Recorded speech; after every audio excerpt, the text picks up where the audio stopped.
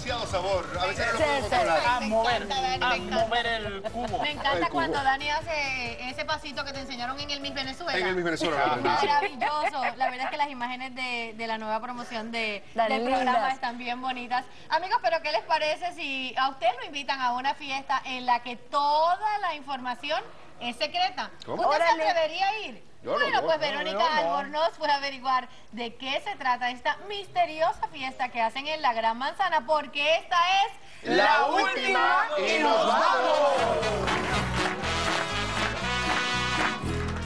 El glamour de París llegó a Nueva York trayendo un evento tan famoso como secreto. El evento es secreto porque se fundió así, se fundió sin autorizaciones. Uno de los requisitos fue vestirse completamente de blanco, traerte tu propia silla, mesa o velas, además de tu propia comida. De esa manera pudimos delatar quiénes eran los latinos.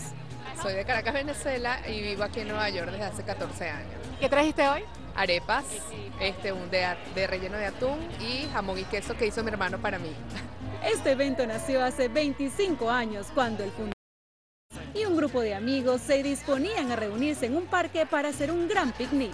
La, la primera cosa eh, para ser invitado al Diner Blanc es conocer a alguien que ya fue invitado.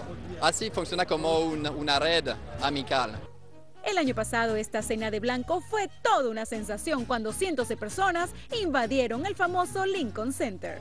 En este evento acudieron más de 100.000 personas alrededor del mundo y aquí en Nueva York logró reunir a más de 4.000 personas.